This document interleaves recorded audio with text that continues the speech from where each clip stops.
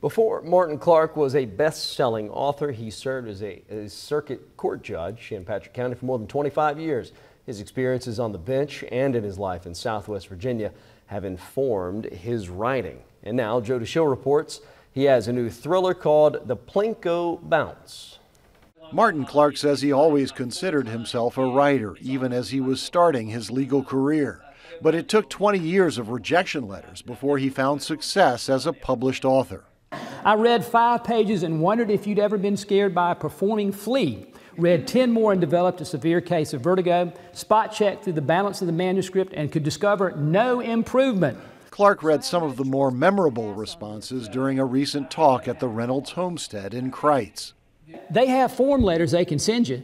She could have just said, This doesn't really meet our requirements right now, but she despised it so much, she, she, she got out the big guns and, and wrote me a, wrote me a full blown letter. Clark has seen plenty of success since then and now has six books in print. His latest is The Plinko Bounce, which follows a capable public defender and plays out in Patrick County. Everybody in the courtroom, including the defendant, knows he's guilty except the jury.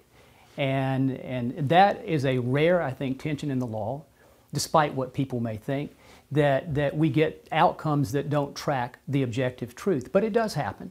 And, and I think that made for a great getting off point for fiction. Clark's books have earned stellar reviews and bestseller status. New York Times reviewer Sarah Lyall described his latest as a terrific legal thriller. I think the most important thing that, that I can do as a writer is entertain you, is to give you a good story and good characters and a, and a payoff at the end that you don't see coming and maybe just bump and nudge your perspective just a little bit. In Patrick County, Joe Dashiell, WDBJ 7.